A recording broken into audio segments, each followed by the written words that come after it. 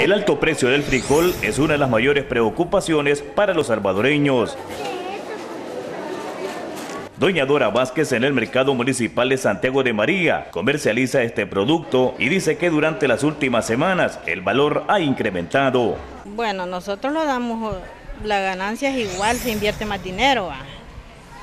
porque nosotros lo mismo ganamos porque lo damos a, a unos 30, unos 40 y lo damos a unos 50 de 50 centavos que normalmente estaba la libra. Hoy se ofrece a 75 y 80 centavos el de seda, mientras que el frijol blanco se adquiere a 1.25 de dólar.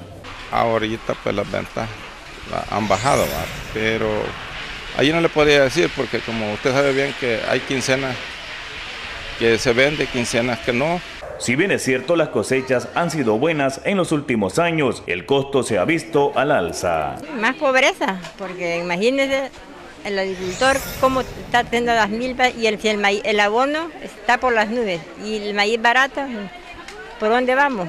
más mm, pobreza en el país. Sumado a este, hay otros insumos que han generado alarmantes variaciones que golpean el bolsillo de la población. Este es un informe de televisión santiagueña. Charlie Chévez, Telenoticias 21.